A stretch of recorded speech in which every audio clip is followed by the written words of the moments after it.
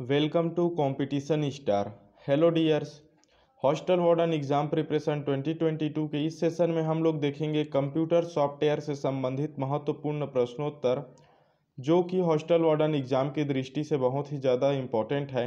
इसलिए आप लोग वीडियो को शुरू से अंत तक बिना स्किप किए हुए देखिएगा और जो भी इसके एक्स्ट्रा फैक्ट है या फिर एनालाइज है, इसको अच्छे से समझिएगा। तो चलिए वीडियो को स्टार्ट करते हैं। स्टार्ट करने से पहले जिन लोग इस चैनल पर न्यू हैं, उन लोग लाइक, शेयर और सब्सक्राइब ज़रूर करें। साथ में बेल आइकन को ऑल पे रखेगा ताकि जो भी वीडियो अपलोड हो, उसका नोटिफिकेशन जल्द से जल्द प्राप्त किया जा सके। तो देखते हैं क्वेश्चन नंबर फ़र्स्ट। कंप्यूटर में कैड का उपयोग किसके रूप में अभिव्यक्त किया जा सकता है? तो कैड का उपयोग एक्यूरेसी के लिए भी किया जाता है। Repay, repeatability, speed and flexibility of production. ये तीनों के लिए ये अभिव्यक्त किया जा सकता है। तो इस प्रकार इसका राइट आंसर हो जाएगा ऑप्शन नंबर डी ठीक है कैड का फुल फॉर्म आप लोग को पता होगा computer computer aided aided design ठीक है कंप्यूटर एडेड डिज़ाइन इसका फुल फॉर्म है, इस, इसको याद रखिएगा। नेक्स्ट देखते हैं क्वेश्चन नंबर टू कंप्यूटर को इंस्ट्रक्शन सेट देने वाले टर्म तकनीकी में क्या कहा जाता है? तो देखिए, कंप्यूटर को इंस्ट्रक्शन सेट देने वाले टर्म तकनीकी में क्या कहा जाता है? तो उसको बोला जाता है प्रोग्राम। ठीक है तो इसका राइट आंसर हो जाएगा ऑप्शन नंबर ए। प्रोग्राम इसका राइट आंसर है। अब सॉफ्टवेयर क्या सॉफ्टवेयर किसको बोला जाता है? तो प्रोग्राम के कलेक्शन को सॉफ्टवेयर बोला जाता है। मतलब प्रोग्राम के समूहों को ही सॉफ्टवेयर बोला जाता है, ठीक? अनुप्रयोग क्या होता है? तो ये ये किसी भी स्पेसिटिक स्पेसिटिक ठीक है?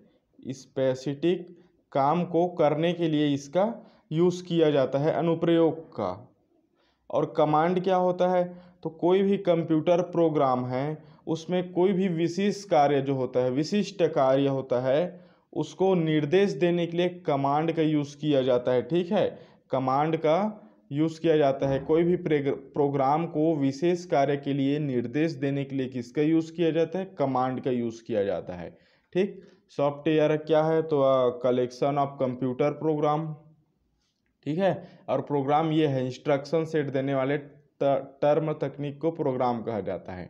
नेक्स्ट है question number three M S DOS किस सन में विकसित हुआ? तो एम एस डॉस जो है ये किस सन में विकसित हुआ है? तो इसका राइट आंसर आ जाएगा ऑप्शन सी उन्नीस सौ इक्यासी में विकसित हुआ है। ठीक है? देखिए, ये जो विकसित हुआ हो वाला क्वेश्चन पूछा ही जाता है, इसलिए ये इम्पोर्टेंट है, याद रखिएगा। इसमें जैसे कि गूगल हो गया गूगल कब विकसित हुआ है? तो ये ये हुआ है उन्नीस में विकसित। ठीक है? विकीपीडिया हो गया। विकीपीडिया कब हुआ है? तो ये हुआ है 2001 में। यूट्यूब हो गया। यूट्यूब कब विकसित हुआ है? तो 2005 में विकसित हुआ है। व्हाट्सएप हो गया। व्हाट्सएप कब हुआ है? तो ये 2008 में विकसित हुआ है। इसी प्रकार डब्लू डब्लू हॉटमेल हो गया। ये कब हुआ है? फेसबुक कब विकसित हुआ है? ट्विटर कब विकसित हुआ है? ये सभी का आप लोग को पीडीएफ आप लोग को पीडीएफ में प्रोवाइड करा दिया जाएगा। ठीक है? नेक्स्ट देखते हैं। Question number four computer system को नियंत्रित करने वाले प्रोग्राम का नाम क्या है? तो देखिए, कंप्यूटर सिस्टम को नियंत्रित करने वाले प्रोग्राम को क्या कहा जाता है? तो उसको कहा जाता है सॉफ्टवेयर। ठीक है, याद रखना, उसको बोला जाता है सॉफ्टवेयर।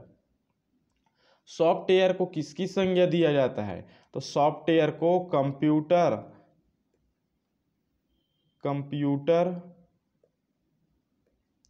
की आत्मा का संज्ञा दिया जाता है, ठीक है? कंप्यूटर की आत्मा का संज्ञा किसको दिया जाता है? तो सॉफ्टवेयर को दिया जाता है। नेक्स्ट है क्वेश्चन नंबर फाइव।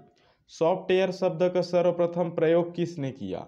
तो इसका सर्वप्रथम प्रयोग किया है John W Tukey option number D इसका राइट आंसर है, ठीक है? और सॉफ्टवेयर कई प्रकार का होता है, जैसे कि हो गया सिस्टम सॉफ्टवेयर, ठीक है? सिस्टम सॉफ्टवेयर और कौन सा आता है? यूटिलिटी सॉफ्टवेयर आता है। यूटिलिटी सॉफ्टवेयर याद रखिएगा, ठीक?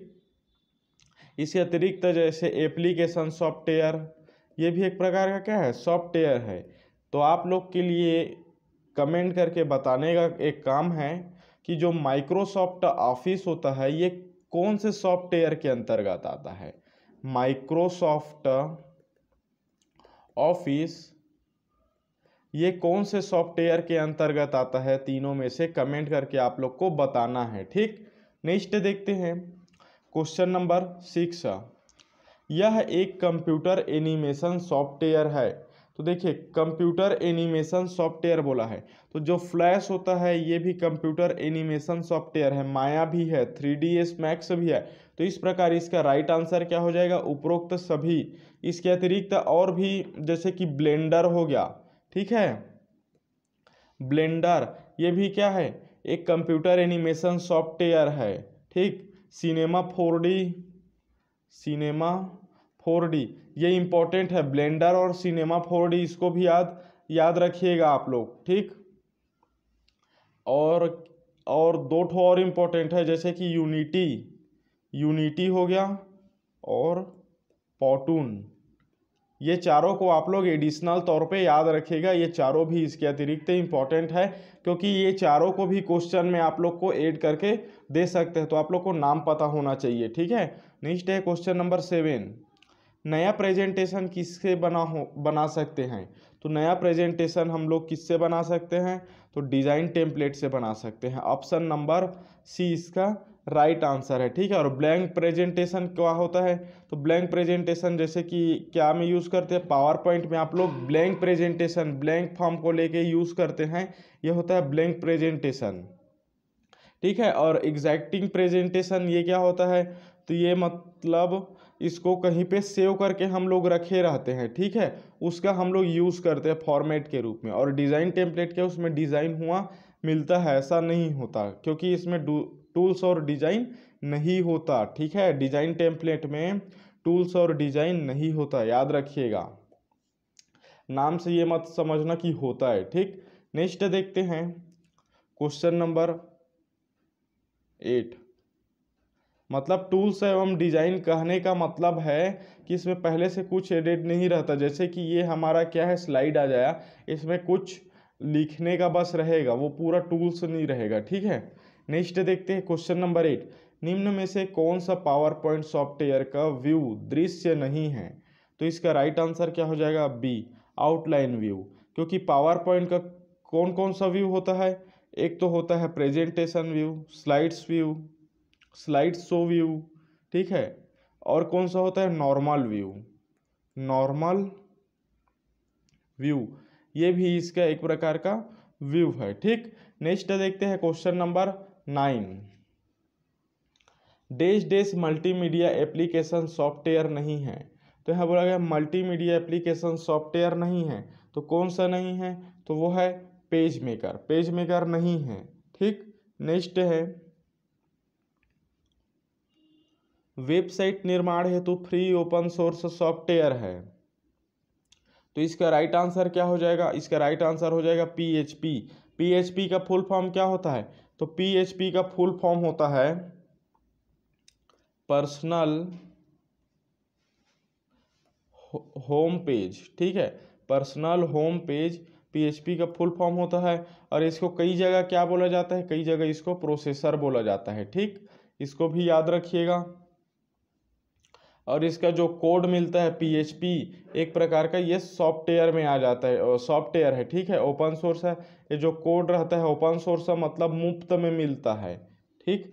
और ये इस, ये जो एक प्रकार का भाषा में भी आता है तो इसको कौन बनाया है? रैमसम लेडॉर्फ लेडॉर्फ, ठीक है? ये बनाया है उन्नीस सौ चौरानवे में, ठीक?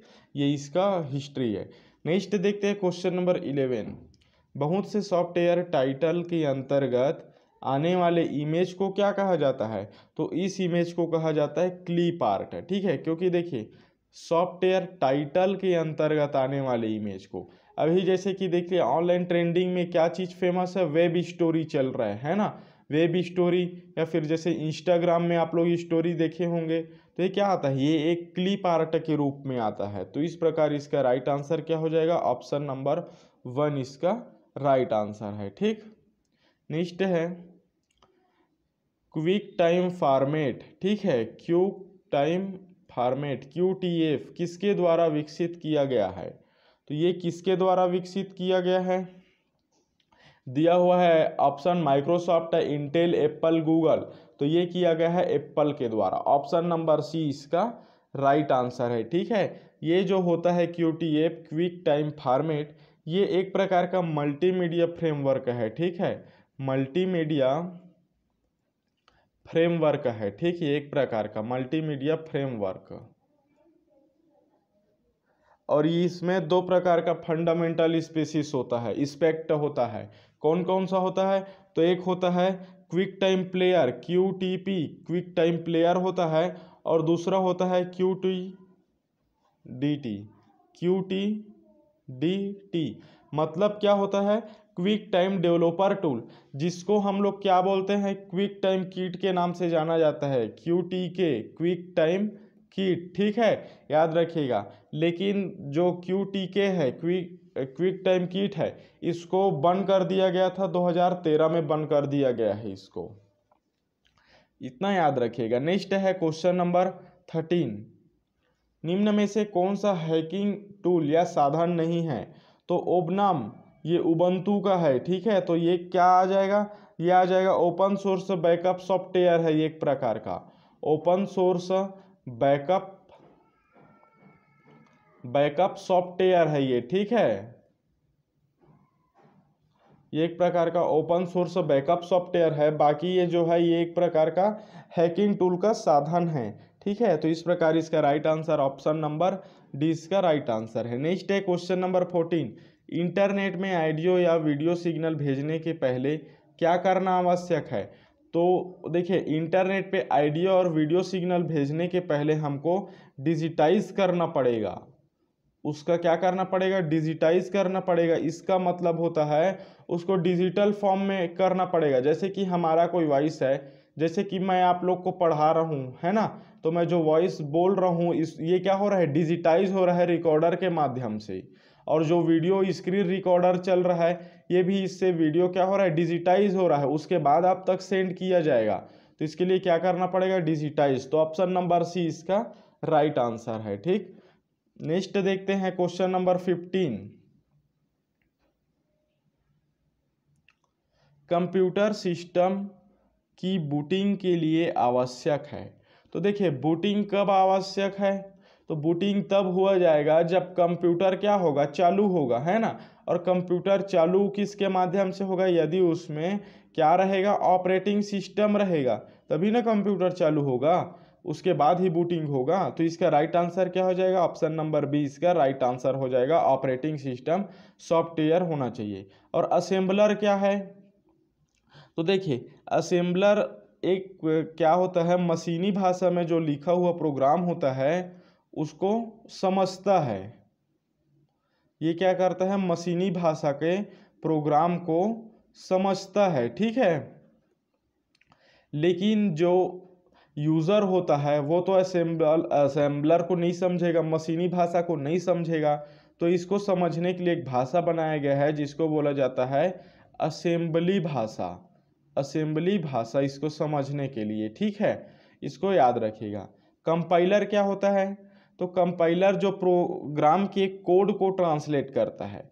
जो प्रोग्राम कोड को ट्रांसलेट करता है, प्रोग्राम कोड को क्या करता है?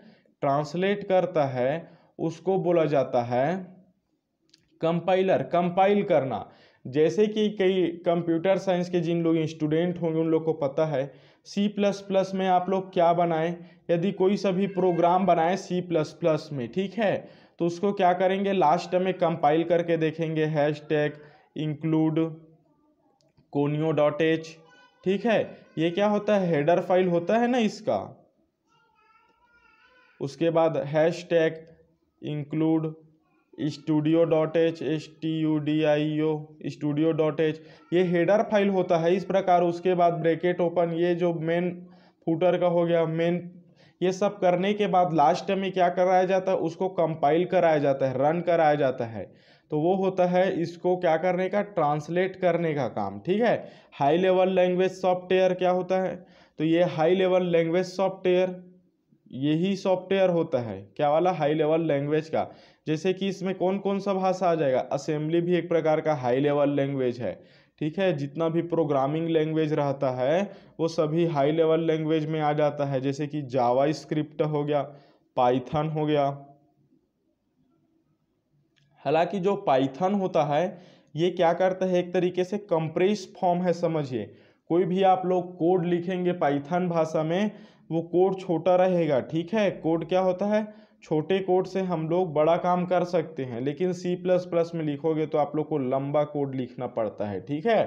तो इस प्रकार ये जो फिफ्टीन क्वेश्चन है, ये आप लोग के सॉफ्टवेयर से रिलेटेड इंपॉर्टेंट क्वेश्चन है, इसको आप लोग अच्छे से याद रखिएगा। इसके अतिरिक्त और भी सभी का पार्ट प्रोवाइड कराया जाएगा, ठीक है? पेपर अभी इसका जो एग्ज़ाम है हॉस्टल वार्डन का ये थोड़ा डिले हो रहा है। क्योंकि देखिए, अभी चुनाव टाइम आने वाला है। यदि सरकार अभी पहले ही निकाल देगा तो कोई मतलब नहीं रखेगा। तो उसको चुनाव टाइम में फ़ायदा लेना है ना सरकार को। तो इसलिए थोड़ा वो क्या कर रहा है? डिले कर रहा है, ताकि इससे भी हम लोग को फ़ायदा हो सके वोट मिल सके टाइप के, ठीक है? तो आप लोग पहले से क्या रहना प्रिपेयर रहना। जितना ज़्यादा हो सके आप लोग तैयारी करके रखिएगा। और जिन लोग पैट टेलीग्राम पे हैं, नहीं जुड़े हैं, उन लोग जुड़ जाइएगा। क्योंकि इसमें टेस्ट सीरीज़ प्रोवाइड कराया जाएगा आप लोग को, ठीक है? Test series. याद रखिएगा तो चलिए मिलते हैं नेक्स्ट वीडियो में। आज के लिए बस इतना ही। जाने से पहले लाइक शेयर और सब्सक्राइब ज़रूर कर दीजिएगा। साथ में बेल आइकन को ऑल पे रखिएगा ताकि जो भी वीडियो अपलोड हो, इसका नोटिफिकेशन जल्द से जल्द प्राप्त हो सके। So all the best